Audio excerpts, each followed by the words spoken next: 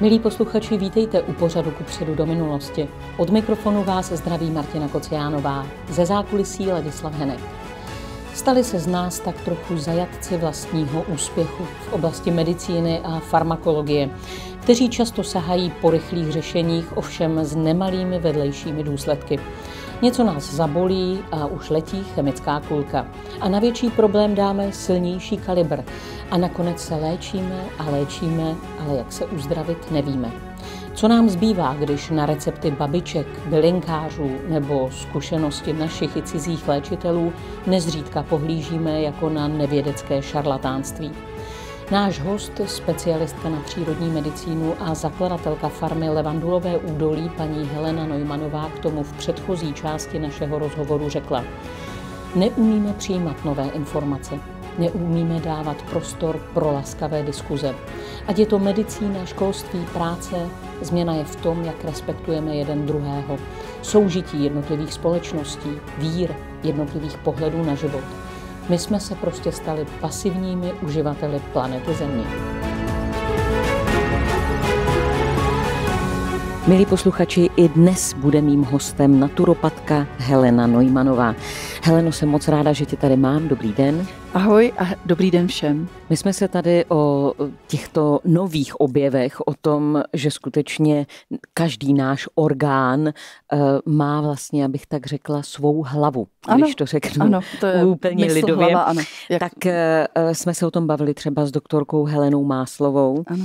A i s Milanem Calápkem, ale přeci jen to pro mnohé lékaře a pro část veřejnosti eh, zní jako výplot nějaké partičky, která má uh, za sebou prostě léčitele, nemá, není dost erudovaná, není dost uh, vzdělaná.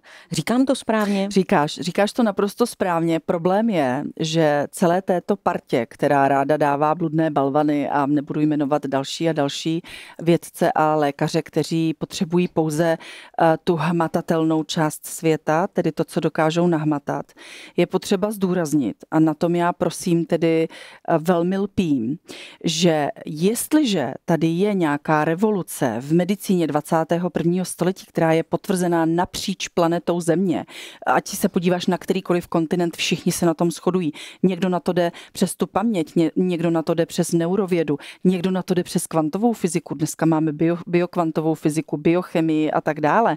Biochemie je v podstatě eh, jedna z, řekla bych, z nejdynamičtějších věd Eh, současnosti. Eh, spousta mladých lidí chce studovat a já, když sedím s těmi docenty a vědci na Vysoké škole chemicko-technologické, tak oni právě oni se klaní těmto vynálezům a říkají, to je neuvěřitelné, že zrovna v naší zemi máme takové možnosti pracovat s těmito bylinami. Tak pardon, Mám-li v rámci tohoto poznání světového něco zkoušet nového a prokazovat něco, tak já vůbec nevidím důvod, proč bych to měla dělat s chemickým šitem, který na tu epigenetiku nemá vůbec žádný vliv, ba naopak pouze přináší nežádoucí účinky. Proč bych na to neměla jít s tisíce let prověřenými stromy, bylinami a naturopatí, někde v některých zemích použije, používají slovo fitoterapii, které žádné nežádoucí účinky nepřináší a jenom té epigenetice pomohou pro Boha. Proč? Řekni mi jediný důvod. A když už... Praktický důvod by byl ten, protože najednou eh, by si byla uvěřitelnější, možná, že by do tebe zainvestovala nějaká farmaceutická firma. No a eh, další důvod, než prakticky mě nenapadá. Ano, a, a to, že jsou naše těla řízená eh, klasickou fyzikou, ale také kvantovou fyzikou. Pan profesor Rak by nám řekl, že my tady teď momentálně vůbec nesedíme, že? Já jsem tvé zrcadlení, ty jsi mé zrcadlení a naše duše, naše energie se spojily ve vesmíru a dohodli se, že si tady pokecáme. Tak uh, já si troufám říct, že předtím naši vědci neutečou stejně tak, jako my neutečeme před uh, umělou inteligencí. Prostě ať se nám to líbí nebo ne, je tady. A pojďme pracovat s tím, aby nás nesežrala zaživa co nám může tato nová teorie přinést pozitivního. Protože to by, mohla být, to by mohl být kámen úhelný, který mnohé lidi eh, přiměje k tomu, aby se pídili, aby se dozvěděli o těchto výsledcích eh, mnohem více, už jen proto, že by jim to dávalo naději. Ano, naprosto krásně si použila to slovo naděje. Je to prosím pěkně především naděje proto, že když se budu správně chovat ke svému tělu, mysli a duši, a my zatím o tu duši pečovat neumíme, protože slovo duševní zdraví je tady tabu.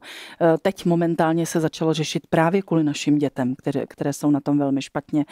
Tak pokud přijmeme tu zodpovědnost a vystoupíme z té role oběti, dobrý den, pane doktore, opravte mě, tak máme obrovskou šanci žít nádherný, hojný, radostný, vitální a, a zdravý život. A pro boha, co víc si přát?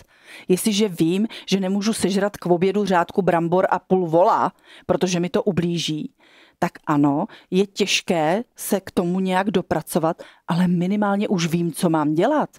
Jak se nám žilo v době, kdy jsme přišli k lékaři a on nám naprosto, já, jsem, já mám denodenně na epigenetické analýze klienty, kteří přijdou a řeknou mi, představte si, paní doktorka řekla, že dusím svou dceru.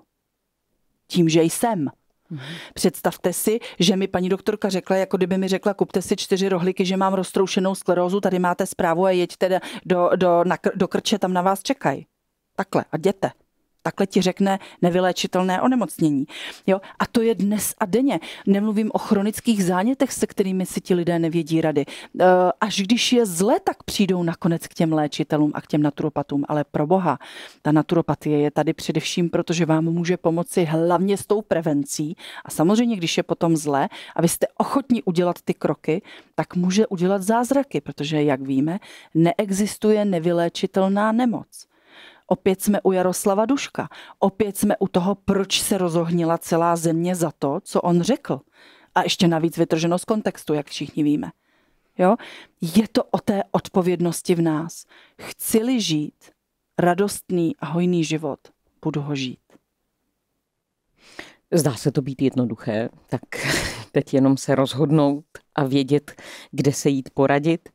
Eh, když se znovu vrátím eh, k tomu vědeckému výzkumu, ano. který popisuje eh, jistou proměnu nebo dokonce revoluci v tom vnímání toho hlavního řidiče lidského těla, mm-hmm. tak dá se říci, že eh, tato nová teorie svým způsobem popírá existenci geneticky daných dědičných onemocnění, anebo alespoň do určité míry? Uh, úplně nepopírá v žádném případě, protože stále se bavíme o tom, že nevíme, jestli je to 5 nebo 10% právě těch genů, které tady hrají velkou roli. Uh, Důležité ale je, a já bych to vzala z druhého konce, že když odcházíte z nemocnice s tím, že máte eh, diagnostikovanou nevyléčitelnou chorobu, nemusíte se okamžitě hroutit z toho, že vaše dítě ji bude mít taky, a stejně tak, když vašemu rodiči je diagnostikována rakovina, nemusíte se okamžitě hroutit ve své hlavě z toho, že vám ta rakovina přijde do života také. Já toto považuji za největší výhru celé této analýzy a celé této epigenetiky, protože to strašení, a prosím pěkně, už ho bylo opravdu dost, v rámci covidu. A ty následky, které dneska neseme, jsou jenom kvůli strašení.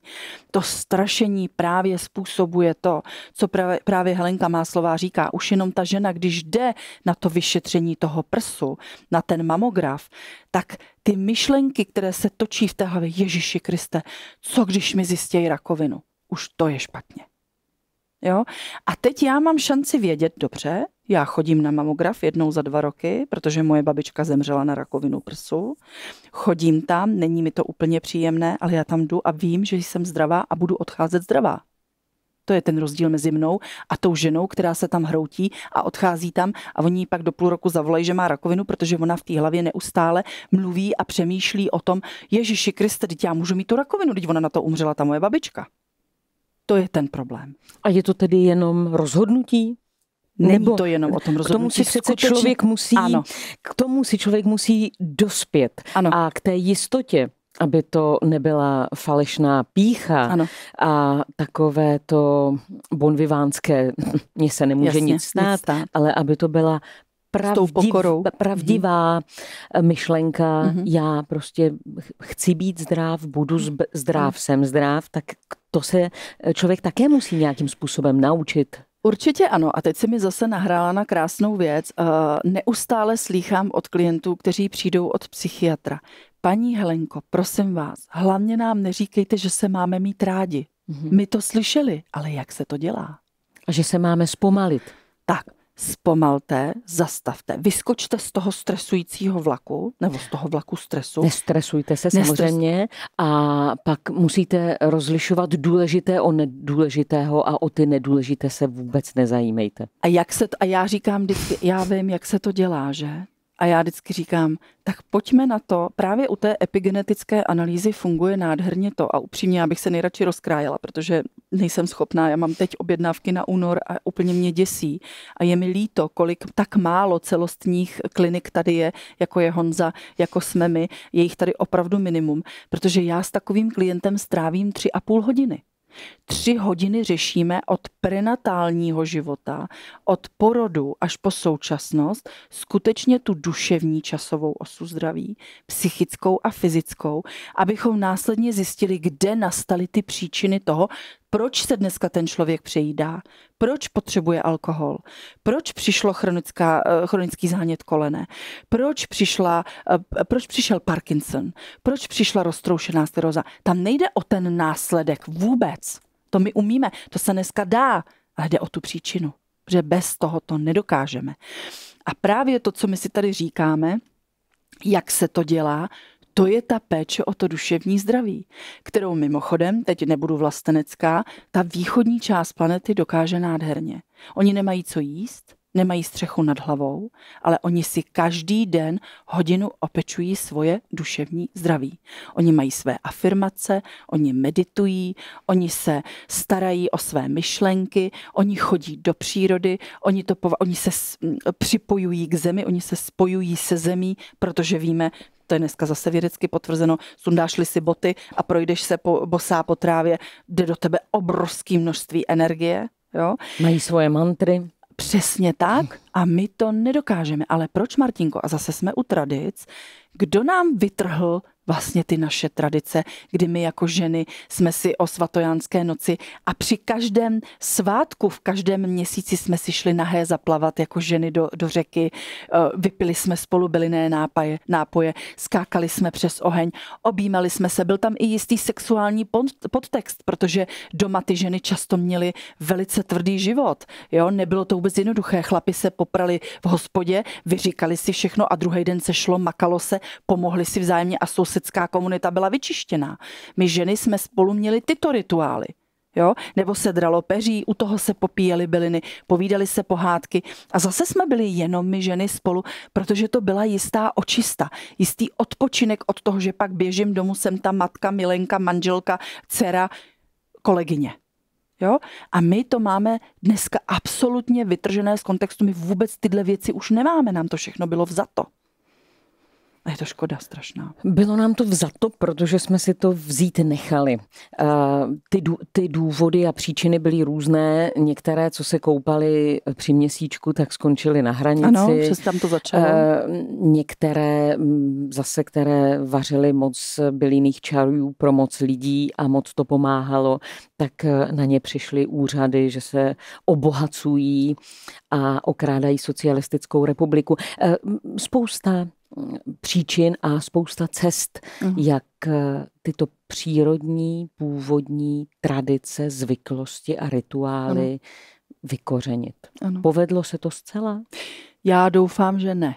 Já doufám, že ne, protože musím říct, že když eh, my děláme každý víkend ty tradice, zvyky a i to sledujeme, teď jsem byla na Moravě, eh, jeden den jsem měla za kolegou taky bylinkářem a eh, byla jsem účastna zabíjačky klasické, teda moravské, bylo to naprosto nádherné.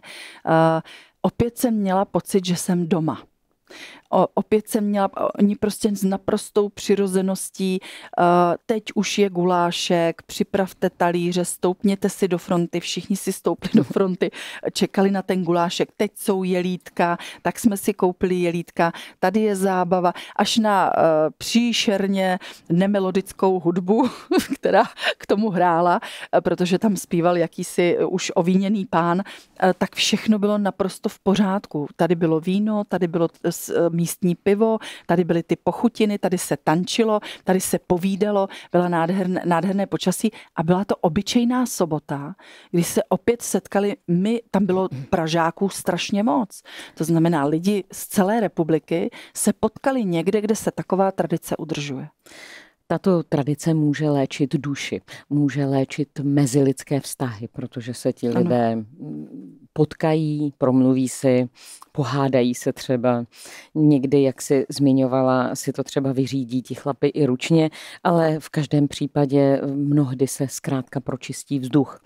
Ale někdo zase říká, že eh, udržujeme třeba tradice, které už udržujeme jenom pro tradice, hmm. že jsou vyprázdněné, že už pod nima jako není ta opravdovost, eh, také, že mnohé tradice není potřeba už udržovat, protože třeba tehdy měli uh, svůj důvod vzhledem třeba k omezené hygieně mm-hmm.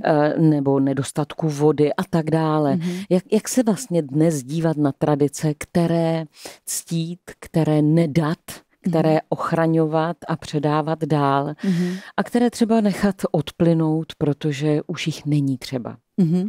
Tak samozřejmě eh, vykuřovat místnost vykuřovadlem eh, a bílit světnici eh, na žluté úterý už dneska nemusíme, protože máme k dispozici možnosti, jak udržovat ten domov čistý, jak hygienicky, tak teda... No, taková bílá šalvěj, když se zabálí a Perfektní. kouří, to je zase... Ano, děláme to v bylinné chyši, takže víme, víme ale, ale jsou lidé, kteří přesně, jak říkáš, už mají pocit, že, že to není třeba třeba. Na druhou stranu, když se podíváš do našeho kalendáře a vzali bychom si třeba jenom ty nejdůležitější svátky každý měsíc, ať jsou to tři králové, je to masopust, následně pust do škaredé středy, velikonoce, otevírání studánek, královničky, pak máme že jo, svatého Jána a teď do toho jsou i státní svátky, pak, je to, pak jsou to ty letnice. Všechno to mělo svůj obrovský význam právě v tom, aby se ti lidé setkali. Jim mluvím teď o tom, aby se i navzájem poznávaly ty kraja, kra, jakoby eh, krajanské tradice a zvyky. To znamená, mě třeba baví přijet na Moravu. Já, když dneska dám na web, že děláme eh, masopust, tak ti lidé řeknou, je, my bychom strašně rádi přijeli, ale víte, my to máme 100 kilometrů. A já vždycky říkám, víte, v Americe 100 kilometrů je každodenní dojížďka do práce. A pokud chci něco zažít a chci si ten den užít, tak pro mě 100 kilometrů nehraje roli. Já na ty hory do toho Harachova za tím Krakonošem klidně na ten jeden den zajedu. Ale to je právě už ta pohodlnost a bohužel někdy je to i o financích. Já to chápu. Ti lidé na to třeba nemají. Ale je to přesně to, co si nesmíme v žádném případě nechat ukrást, protože pak se díváme na dokumenty o karnevalu brazilském a říkáme, wow, to bychom chtěli zažít, to je úžasné, ale přitom si necháváme za zavřenými dveřmi ukrást to naše. Jo? Kdo dneska chodí v krojích? Část Moravy, opravdu tři, čtyři vesničky chráněné UNESCO, jízda králů a podobně. Kdo dneska zažívá, že opravdu zaťuká cizí človíček na velikonoce na dveře a hoduje, eh, chce, chce, chce zahodovat a, a, a dostat vajíčka. Ve Velkých Bílovicích to ještě funguje, je dalších pár vinařských oblastí, kde se ano. tyto tradice ctí a kde možná i ti eh, chasníci, co přišli vyplatit, jako vlezou do baráčku oknem, ano. aby byla legrace. A, ano, aby byla, aby byla legrace a aby nachytali mm. tu svoji vyvolenou sousedku, ale je toho šlakovitě málo a musím říct, že po Praze se v podstatě potuluje s pomláskou jenom pár téměř mm. zoufalců. Ale pojďme si říct, jakým způsobem tyto věci implementovat do života, aby se nám ozdravovala duše, protože my se teď ano. bavíme o duši. Ano. My nezachráníme všechny tradice. Určitě ne. Můžeme něco dělat eh, v našich rodinách, to je asi ten nejdůležitější eh, způsob a můžeme ho udělat prakticky hmm. každý, ale opravdu to má takový dopad na naše zdraví, třeba teď před těma Vánocema? Určitě ano, protože eh, je, je čas vyrost, je čas, kdy děti ve školkách nosí domů, jak se říká, nudly. Ehm, maminky jsou zoufalé z toho, že zase nastal čas, kdy si berou volno na to, aby opečovali své děti, protože nemohou do školy, do školky, kdo bude hlídat a tak dále. A je to přesně o tom, že když se zamyslíme nad tím, jak eh, ten eh, vůbec každodenní cirkadiální kód, kdy to tělo funguje, kdy ráno má získat tu vitalitu, zvednout ten dopamin, serotonin hezky v tom mikrobiomu, večer se sklidnit a připravit se na kvalitní spánek, tak to jsou přesně právě ty bylinky k tomu, abychom zvládli ty každodenní činnosti a ještě k tomu ctili, že jaro a podzim je to uzemnění, ta příprava na, v případě jara na veselice v letním čase, kdy si dopřáváme ty koláče, cestujeme, lítáme, běháme, objevujeme, jsme venku víc než doma, je to naprosto úžasný, nádherný čas. A to jaro se probouzí, stejně tak se probouzíme my z takové té zimní letargie, z únavy, potřebujeme opravdu dopřát tomu tělu, jak se říká, ten zázrak. Ehm, je tam na místě pečovat už nejenom o proběhlé onemocnění, jako je třeba ten lipový květ, jak jsem jmenovala, ostropestřec, eh, případně rakitník. A ten podzim je naopak o tom, abychom se opravdu připravili na ten advent, sklidnili se, hezky si uvědomili, co všechno teda je, připra- je připraveno na ten zimní čas. Budeme moci jet na hory, nebudeme moci jet na hory. Vím, že ta situace finanční v některých rodinách není dobrá, to znamená dobře, nepojedeme na hory. Nestálo by za to teda jít jednou za 14 dní do sauny a dopřát si bylinkovou saunu nebo bylinou chýši v Levandulovém údolí, dětem dopřát uh, procházku po uh, Vápencových mořích, uh, máme tam slaměný parkour, můžou lítat, nebo jet do těch hor a dát si tam v penzionku večer eh, ten wellness, klidně ano, ale pak popít kvalitní čaj, ne eh, jako vydáme ve všech hotelích Lipton, že bych neměla, ale musím prostě vymáchané punčocháče eh, a další a další čaje, které se nedají nazývat čajem. Přitom jsme země bylin, která má úžasné, úžasné čaje, které dokáží léčit. No a samozřejmě ten podzim a zima je období, kdy přichází ty deprese a úzkosti. Děti jsou víc přecitlivělí, nevídají se tolik, protože zase nemohou tolik uh, lítat venku a ty sporty se vlastně uh, sklidňují nebo přesouvají se do hal. Uh, teď v halách je samozřejmě mnohdy chladno, takže jsou, onemo- jsou nemocné ty děti, takže potom třeba tři týdny nemohou sportovat, jsou doma. Pochopitelně řeší se to Netflixem a, a bramburkami a podobnými nesmysly. To je přesně ten model, kdy je potřeba začít a říct si, tak pozor, jestliže ta epigenetika, jestliže já se můžu starat o to, aby moje dítě bylo zdravé, tak tam to začíná. Udělat tu kvalitní svačinu. Nejíst jenom eh, mrtvoly a potraviny, které nemají žádnou hodnotu. Vždyť pro boha dneska na každé etiketě máme napsáno eh, vlastně, co to obsahuje ta potravina. Jestli má Ečka, jestli má antibiotika, hormony, nebo jestli je to fakt čistá super potravina, která tomu dítěti něco přinese. Chápu, že pro dítě uh, spolknout biokonopný ro olej, kdy naši předkové to konopí používali celý podzim a zimu, uh, protože z, z něj čerpali omega-3, 6, 9, neměli lososy, neměli mořské plody, tak chápu, že pro to dítě to není úplně chutné, ale rozhodně je chutnější než třeba ta ostropestřecová pasta. Takže konopný ro olej z levandulí fantazie, protože pracuje mu s tou hlavičkou a s těmi neurony uh, snaží se mu pomoci s mikrobiomem a s imunitou, doplní mu minerály a, a, a ty omega-3, 6, 9, tak jsou tady opravdu možnosti, jak vybírat, z čeho vybírat a jak o sebe pečovat. Eh, stejně tak udělat si horkou vanu a nasypat do ní kvalitní sůl a část bylin. I to je výborná pomoc tomu dítěti nebo sama sobě. A to ani nemluvím o tom, že aromaterapii se ještě před dvěma, třemi lety lidé smáli. Po covidu, když jsme měli extrémní úspěšnost opravdu s návratem čichu, chuti, s pomoci lidem s hormonálními změnami, s, obrovský, s obrovskými teda výsledky v oblasti právě depresí, úzkostí a nespavosti.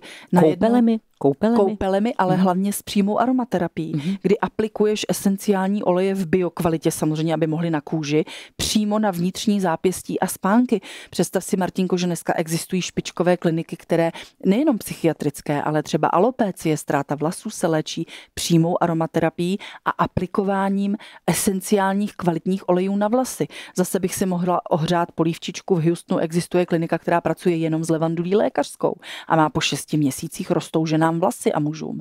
Při aplikaci esenciálního oleje na místa, kde se ty vlasy netvořily. Jo, já sama jsem tomu nechtěla věřit, než jsem viděla ten výzkum, kdy mě vysoká škola, holky z vysoké školy, docentky mě říkali, jak tomu nemůžeš věřit. Já říkám, to není možný, že nic nedostává in vitro, že řeší jenom to místo, místně, lokálně. A oni říkali, ty sama vidíš, co tady obsahuje tvoje bylina za unikátní léčivý látky a nevěříš tomu, že 6 měsíců, když se matlá ten olej na hlavu, že, že začne růst vlas, že se ten folikul začne probouzet. Říkám, no je to pro mě neuvěřitelné. Pozdrav pámbu. Jo, a je to pravda. Je to pravda, Je pardon. to pravda, krásně jsi to potvrdila. Se. Ne, krásně jsi to potvrdila, je vidět, že tady neblábolím, jo? Děkuji ti za to. Takže uh, opravdu, opravdu dneska aromaterapie má, mimochodem v Mariánských lázních vznikla psychiatrická klinika Recovery, uh, Vláďa Wurm, doktor a docent, balneolog špičkový, který s námi spolupracuje, za ní stojí, uh, mimo jiné, je tam spousta dalších lékařů a Vláďa říká, my s tou aromaterapií máme výjimečné výsledky a tvůj olej by měl znát celý celý svět. Jo? Čili je to, je to o tom opravdu přesně, jak si řekla, dát si tu práci a hledat dát si tu práci a hledat. Já ti dám příklad. Já jsem byla na přednášce v rámci festivalu uvědomění a uh, byla tam jedna přednáška, nebudu jmenovat tu dámu, uh, nutriční poradkyně, která na závěr dala takové tipy na to, jak se dobře stravovat v těchto obdobích a jak vlastně případně zhubnout, pří, v případě menopauzy a dalších věcí. A ona mě úplně fascinovala tím, že ona v rámci té přednášky zakázala nebo doporučila nejíst a nepoužívat pět základních potravin, které naši předkové užívali a byly famózní. Jedna z nich bylo lněné semínko a lněný olej. Ona přímo zakazovala lněný olej, že není schopen eh, se štěpit, že není schopen se v tom střevě zpracovat, že vlastně způsobuje potom tu plynatost, bla, bla, bla a že doporučuje avokádový olej a avokádo a lososy a to. A já jsem si říkala, tady mi něco nehraje, tady je něco špatně. Jak může v dnešní době, kdy celý svět prokazatelně ukázal, že jíst především to, co roste tady, stejně jako já, to znamená i léčit se tím, co roste tady, je to nejlepší. A ona mě tady tvrdí, že ne. Načež nastoupil Petr Havlíček, špičkový nutriční teda eh, poradce a vlastně všechno vyvrátil. A já jsem se smála a říkala jsem tak. A teď odsud odcházíme jak spráskaní psy, co si z toho vzít? No škoda, že to neslyšela moje babička, která celý život celý život na plotně stálo vařené lněné semínko. Samozřejmě. A po každé, každý, kdo šel, tak se z toho hrnce trochu napil. Ano. Kdyby byla věděla, že dělá špatně, tak se mohla dožít víc než 96 let, kterých se dožila. Děkuji ti za to. Avokádo to mělo být, Děkuju babi. Ti. Avokádo. Děkuji ti. Heleno Neumanová, moc ti děkuji, že jsme se mohli opět sejít a že si mi opět připomněla, jak velké bohatství je všude kolem nás, když se člověk umí dívat. Díky za to. Děkuji i já moc a věřte, že i vy jste to bohatství, protože já věřím, že naše země je plná úžasných tvůrčích lidí.